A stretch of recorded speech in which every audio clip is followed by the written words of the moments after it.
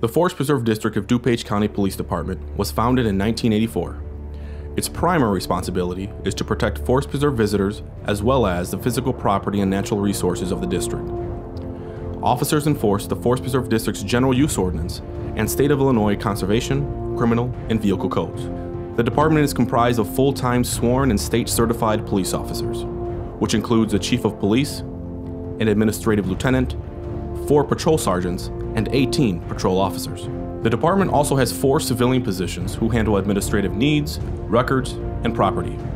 All officers receive specialized training to handle situations involving individuals with mental health issues.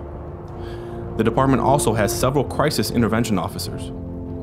The department has officers who are members of the DuPage County Multi-Jurisdictional Task Force for Investigations and Major Crimes. Officers receive continued training to meet all state mandates and in many specialty areas, including Illinois Wildlife and Fish Code enforcement, field training, evidence collection, advanced investigations, drone operation, firearms training, defensive tactics, first aid, CPR, and any other law updates. The department is CALEA certified and recognized as an accredited law enforcement agency in Illinois.